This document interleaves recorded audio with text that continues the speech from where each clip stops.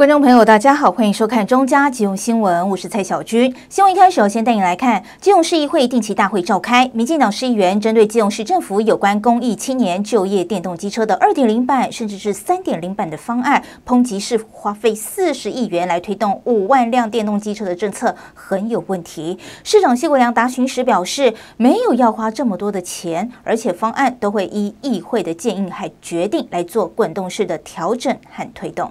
少爷请客，全民买单。少爷请客，全民买单。民进党基隆市议会党团不但临时召开记者会，讽刺基隆市政府推动的公益青年就业电动机车二点零版，甚至是所谓三点零版的方案。当时候选举的五万台电动机车的一个总额，将会负担基隆市将会负担高达四十亿以元以上的一个预算，要来执行谢国良市长当初选举所开的一个支票。那我想，这四十亿元的一个预算，其实如果用在其他的一个市政建设来讲的话，其会给予啊整体的市政来讲带来非常大的一个帮助。四十亿在基隆市整体的预算来说，已经占了基隆市的五分之一的预算。这五分之一的预算，并不是呃另外生出来的钱，它对于基隆市本身财政就会产生沉重的负担。走到今天。一年了，我们发现工艺不见了，太旧换新的环保要求也没有了，完完全全就是一个政策买票的一个行为。在议事厅内也轮番质询和质疑市长谢国良主政的市政府，以一辆八万元电动机车的费用来计算，总共要花费四十亿元来推动五万辆电动机车的政策，很有问题。基于市府不断的变动方案，从一点零到三点零、二点零开始就未通过审议就自行宣布，没有具体化的范围。依据地方制度法、中央法规标准法、司法院的一个解释，我要求市长针对电动机车的发放提出自治条例。以上。如果以目前我们所看到已知的青年电动机车即将要要编列四十亿，四十亿能够做八百栋。房屋结构补强，能够做一千栋房屋的外墙拉皮，应该非常明确知道，里长根本现在依照村里长补助预算里面，根本就是不能编列机车的预算。那既然我们这次机车补助预算里面编列在环保局、民政处还有施工组，所以这个部分要我们要请组织处这边来详细说明。是大家有问说，就是。呃，目前依照我们这次追加预算来评估的话，我们这个电动机车的预算未来可能会增加到四十亿，总共四十亿的话，那请问染疫慰问金为什么没有办法发放？这也是许多市民在询问的问题。不过也有议员力挺谢国良市长这项政策，议会也很多同仁不知道，我最近才知道，警察汰换下来的机车是直接给里长使用的。那当然不是在谢市长您的任内，是在林市长的任内，所以是不是去查一下这个是否合法哦？我想我们是民意代表，我们只是呃监督市政，然后来做民众跟市政府的桥梁，哦，这个是民意代表的职责。呃，我想不要一直一味的来指责，因为。马郎中喜不是很好的脸色，然后市长谢国良答询时则表示，没有要花这么多的钱，而电动机车方案都有依照议会的建议和决定来做滚动式的调整，并且会提出机车券的方式来推动，但是会等到市议会有通过市政府提出的预算后再来执行。那我想先特别跟大家报告，我想应该是没有四十亿这个数字，呃。这个这样子的一个情况，所以请议员来放心，我们大概不会用到四十亿左右这样子。我先跟大家来报告。那第二点就是说，我们在推动这个二点零方案后，那的确因为我们减低了这个门槛，那就有比较多的人来申请。那我也感谢各位议员的这个啊支持。我因为我记得我们在呃开放这个门槛之前，就有很多的。各呃党派的议员都有跟我们呃耳提面命，就是说这个要给他放宽啊，要不然你你你有一个规定，那这才一百人申请，那你这个算是什么政策？那当然那时候也有很多议员说，那你这个政策等于就是没有意义嘛。所以我觉得我们的放宽其实是有跟在这边跟大家报告，是有遵照我们议员在上一次的这个会议当中、临时会当中给我们的一些耳提面命，给我们一些指导下，哦，我们才有在这个放宽的一个这个情况，啊，那所以现在有放宽了，那有更多的人来申请，那我觉得这个是好事。就是如何依照法治的精神，我们也有找正风来开会，针对我们的三点零方案，就是说如何依照这个市民的期待、跟议员的垂询、跟我们的一个法治的一个基本精神，然后如何还能够让民众达到他们想要的呢？所以我们就想出了机车券这个计划。那机车券这个计划就是不限厂牌，那也很感谢这个过去议会有给我们指导。会后，市政府环保局长马仲豪也补充市长谢国良的答询内容，表示这次只有编列七亿元左右的预算，要请市议会审查通过后来执行电动机车方案，没有所谓的四十亿元。呃，我们在这一次的追加预算当中，针对供应青年电动机车的计划，我们编列了五亿元的预算。那针对刚刚跟各位提到的新购电动机车的车体补助有两亿元，所以总共是七亿元左右的预算了。那我们总共的预算金额是这样，所以并没有像议会呃所指教的有这么庞大的金额。另外，市长说的机车券只是一种概念，其实是新的补助电动机车的进化版本，最多补助车体五到六万元，不限厂牌，但是就没有资费的补助。它其实不是一个实体的券，那只是一个呃方便大家理解的一个概念了哈。原则上就是讲呃直白一点，就是民众他新购了机车以后，他会有一个发票嘛。那他凭着这个购买证明相关的文件，他就可以来向环保局申请我们的新购电动机车的补贴。下半年有机会推出的新的方案呢，它与公益青年电动机车计划是并进的。它的专案最大的特色是，它针对新购电动机车有一次性的车体补助，它补助的金额是五到六万元，但是他的月资费就没有任何的补助。所有申请的民众就是比照一般的民众申请的方式，选跟各家车商选择民众最需要、最适合的方案跟月费。马仲豪也强调，如果预算获得市议会通过，现有电动机车补助方案和进阶版方案的补助，两者将可以一并实施。记者吴俊松机动报道。而在这一场定期大会上，市长谢国良上台进行市长施政总报告时，表现出身体略有微恙，因此市议员吴华嘉特地送上龙角散喉糖给市长。温暖的举动获得资深议员张方丽的赞许，半开玩笑的帮华嘉一座来征婚，让严肃的质询气氛缓和了许多。宝贝袋中放置小布书、沙铃、安抚娃娃等。玩具透过说明发展量表，让父母及幼儿增加亲子互动，同时检视孩子的发展状况。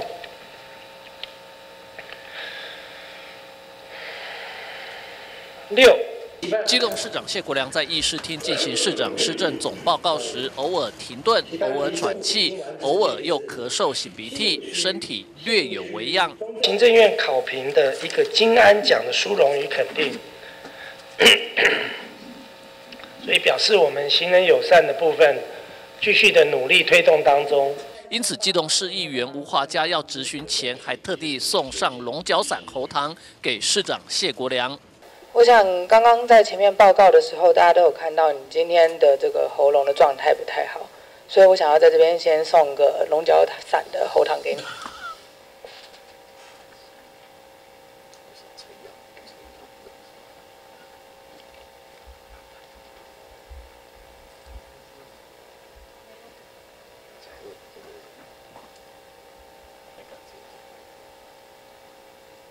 而这温暖的举动也获得资深女议员张芳丽的称赞，也半开玩笑的呼吁：有好的对象，麻烦大家介绍给还是单身的吴华家议员。呃，我看到了我们的华家，他很很温暖，真的是很温暖。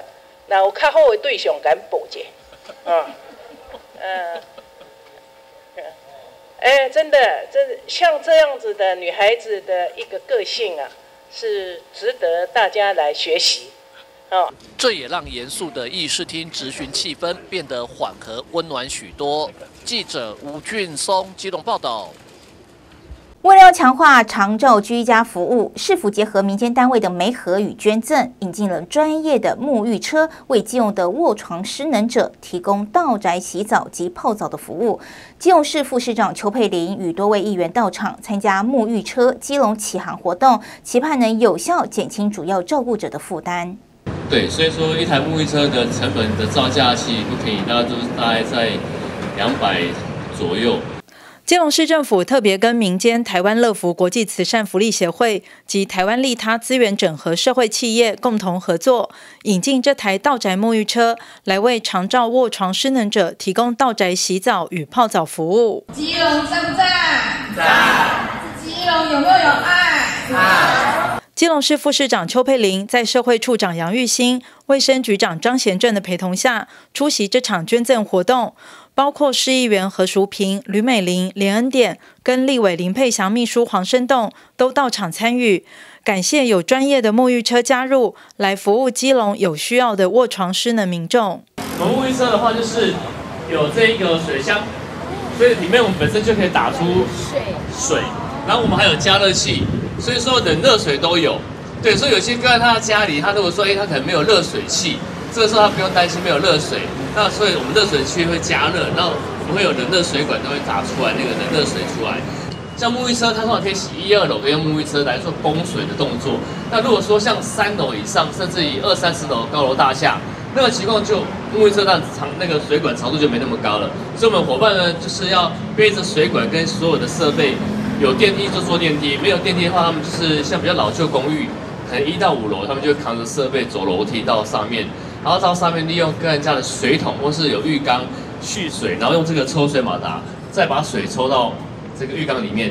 它的整个供水方法不一样之外，其他的整个流程都是一模一样的。基本上很简单，就是我妈以前在基隆长大，然后现在在台中，呃，是乐福在替她服务，就觉得这个东西不错。我妈也想把它带进来给她这边的朋友，然后就想说就决定来车给这边服务。不管失智或是老人、癌症患者，其实爱跟尊严是很重要的。那我觉得有一个这样的车子，对他们来说，尊严等到回来了。因为有很多长者，他们可能出不来哈，呃，或者是失能者，他们长期卧床要洗澡其实很困难，所以会有这样的一个呃设施设备送到家里面来提供给长期卧床的病人来使用。我觉得是对于整个病家还有病人来说是很重要的一个服务。也欢迎所有的这个失能家庭的朋友哈，如果家人有需要洗澡帮忙，来跟我们申请，我们就能够打一九六六。哈，来说明你需要，那么他们就会来派这个呃服务团队进到家里面来服务。透过公司协力精神，市府期盼强化基隆的长照服务，也减轻照顾者的负担。记者黄日升、陈淑平基隆报道。再带你来看，新丰街三百零三巷是透天别墅，但一墙之隔的海中天社区是集合式住宅，有四百多户。二十年前盖了一个挡土墙，出现了龟裂，居民就很担心它的安全性，向市议员吕美玲来澄清。经过土木技师的现勘研判，挡土墙没有危险，未来将针对挡土墙进行彩绘。龟裂了啊，个棚菇啊，你不看，很多人都会怕，都往抬头看一下。居民围在挡土墙旁你一句我一句，因为这。座挡土墙出现了龟裂，墙面凸起，让居民好担心。我们就看那个表面，它已经膨鼓起来，哦，啊，你这边膨鼓，这边过来就是落啊呢，是不是啊？啊，因为你做这个墙，算讲地理的利用安尼是无要紧，你爱搞爱讲这厝边头尾爱弄啊好势，是不是啊？伊无啊。后来我们再叫他这个做这个管子，后来才做的。而居民也反映，挡土墙下方有泄水孔，直接排出到三零三巷路面，有时水量大，也有污水，让居民无法忍受。较大哦，伊这水拢弯弯的大路，它那个废水哦会臭啊。整个都下来了，嗯那从那个管线，这个排水一直都有，下雨天下大的就会往这边排出来。新丰街三零三巷旁这一带都是透天别墅，但隔壁的四百户大型社区仅有一墙之隔，就隔着这一面挡土墙，外墙被漆上天空蓝。但这几年来，居民却发现上方的挡土墙凸起，龟裂现象越来越严重，向市议员吕美玲澄清。现在已经年代也久了，大概二三十年了。现在它的墙有龟裂，跟那个已经有。就是凹凸不平的那个状况了。到底是雨水还是生物污水？我们也是会请呃相关的单位去调查。那最最重要的就是要先请呃都发处呃邀请我们呃那个建筑施工会来去看一下结构的问题。那如果建呃如果结构有立即的危险性，那就必须要做补强的。的这个工程哦，所以我们也请这个社区能够来尽善尽社社区的责任。原本居民一度以为挡土墙内是一座水塔，经过隔壁社区人员说明，挡土墙上方是一座篮球场空间，泄水孔主要是排水功能，完全的空地，然后民众玩的地方这样子。对，没关系啊，就其就就像杜阿吉说的啊，请那个。建筑师工会来来帮来评断嘛？你们认为？对，因为我们都不够专业嘛。也会找那个建筑师工会这边来做牧师的勘察，对，那并给给予改善的建议。会刊后决议，市政府都发处将请专业技师到现场勘察，而经过日前到现场实际的勘察结果，挡土墙安全暂时没有立即危险。区公所强调，未来将针对墙面进行彩绘。记者黄少明金融报道。企业防灾越来越受到重视，基隆市消防局特别在爱买基隆店举办消防演练，同时制赠企业防灾挂图，透过企业防灾的演练，加强业者员工的防灾意识，让市民的生命安全有保障。吃我了，吃我了！呼叫中哦，面包区我好像发生火灾。卖场面包区传出电器火警，警报声大响。卖场自卫编组立即启动展开灭火及自救行动，同一时间针对员工和顾客进行疏散。原来这是一起企业的防灾演练。位于深西路的爱买基隆店是基隆市唯一大型卖场，总楼地板面积大约四万平方公尺。业者从一百零九年开始投入企业防灾工作，透过防灾演练来强化场所内员工防灾观念。因为我们智慧箱编组其实是在火灾发生后才开始启动的，所以呃，我当然希望说火灾能够不要发生。所以有提醒他们，就呃，譬如说店里面的一些室内配线啊，或者是一些用电的一些电器的部分，能够做一些检视，然后让呃火灾发生的几率能够降到最低。那第二个就是因为这个场所在地下室，那地下室有它特别包括呃疏散以及我们消防同仁抢救的一些出入动线的问题。那这个我也会请我们消防同仁。再留意一下这个状况。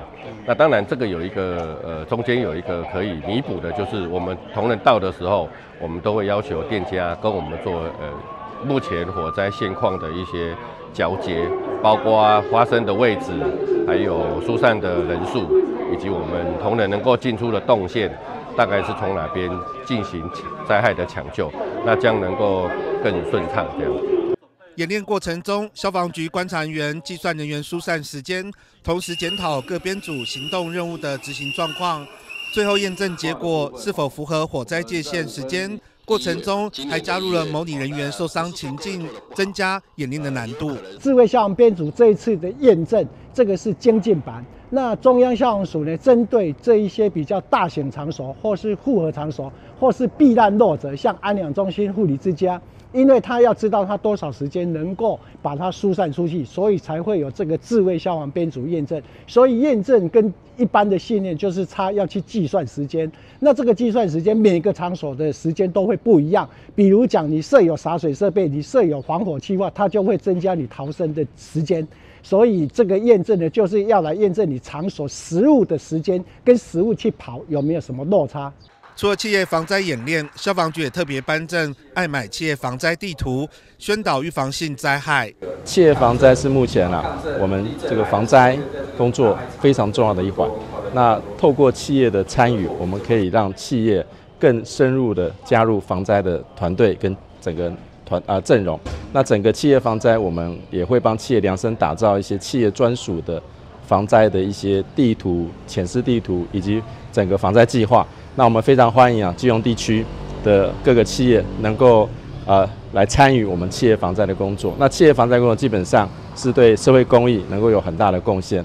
消防局透过自卫消防编组能力验证，加强企业场所员工防灾观念，让市民的生命财产更有保障。记者黄少明接用报道。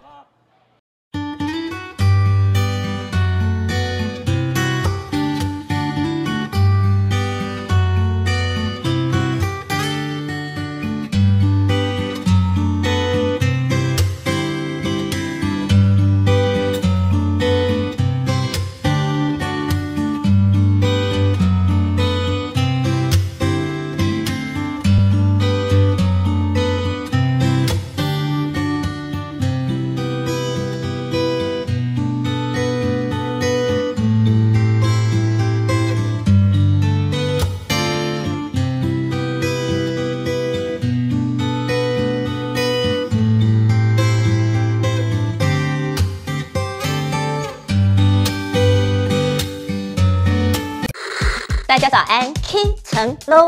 五月梅雨季到来，大家出门要记得带雨伞。另外，一百一十三年房屋税开征啦，缴纳期间为五月一日到五月三十一日。主力要来告诉您缴纳房屋税小配包。现在缴纳房屋税非常方便，只要扫描缴款书上的 QR code 就能完成，还有多元缴纳管道可以自由选择。就算梅雨季不用出门，在家也可以轻松缴。一百一十三年房屋税开征，一化缴纳，超给力！哇，对面那座山也太有型了吧！真的耶，闪电同发型哎！他们如果没有先向政府申请就开挖，被天眼照到就惨了。天眼就是天上的卫星，卫星可以拍到的范围可是又大又清楚，而且一个月还回传好几次照片呢。任何人看到山坡地疑似违规，都可以主动通报。基隆市山坡地疑似开挖整地，请通报零二二四二二三三三九。基隆慈云寺整年度的重要庆典包括了元宵节义文活动、文昌君圣诞、观世音菩萨圣诞、浴佛节及祭孔大典等，无不吸引众多信众前来。慈云寺对于重要庆典、祭祀活动及社会服务，总是不遗余力的认真规划，也因此造就了今日历史悠久、信众众多、香火鼎盛的慈云寺。想知道基隆市政府各单位正在推动哪些重要政策、大型活动或是社会福利措施吗？关心市政自会来节目特别邀请了产官学界来讨论各项政策最新发展，也欢迎民众表达意见，让市民可以快速掌握基隆脉动。欢迎锁定每周三晚上九点基隆第四频道，关心市政奏回来。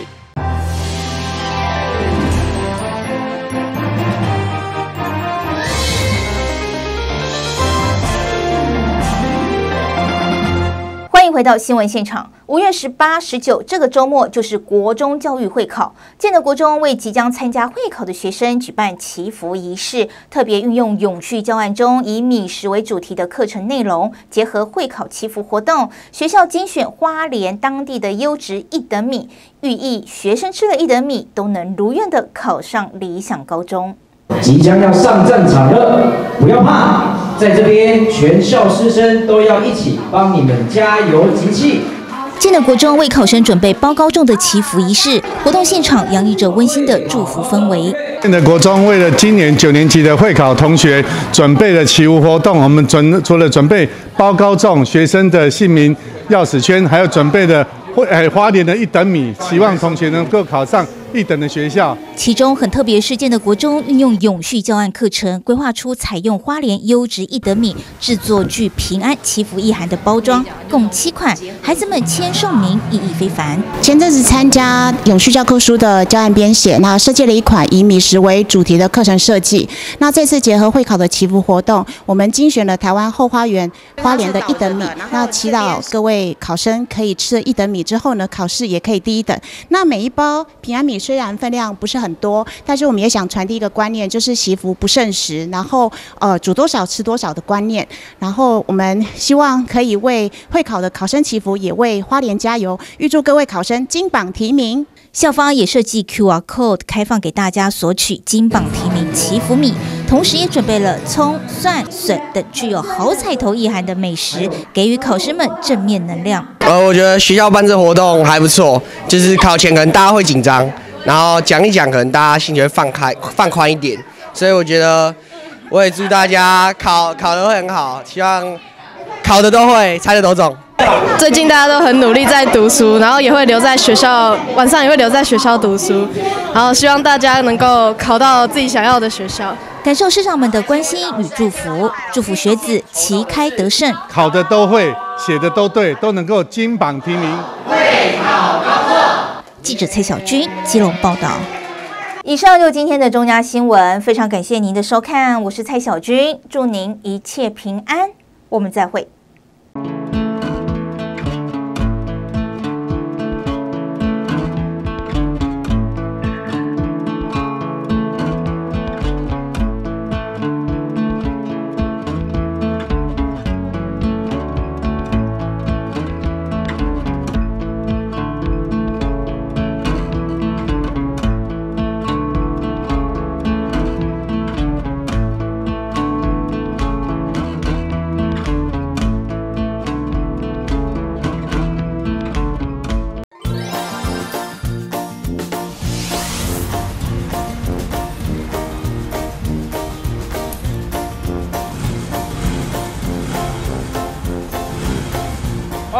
都停满了，那随便停好了。先生，你这样停车违规哦！汽车停放合法骑楼停车空间只能有一列，并且停车方向必须垂直道路。另外，必须保持一点三公尺的行人空间，这样才可以兼顾到机车族停车以及行人通行的权益。行行，快点快点。另外，地上贴有脚丫子的绿色地贴，禁止停车，警方会严格取缔。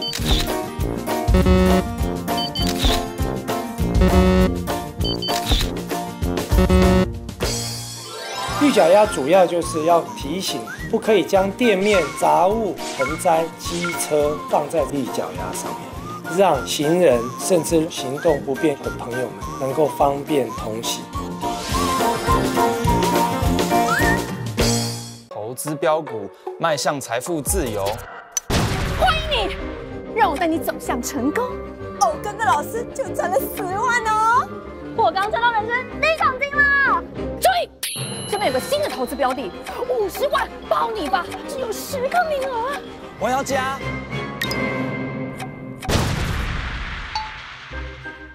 网络投资陷阱多，稳赚不赔是诈骗。欢迎拨打一六五反诈骗专线查询。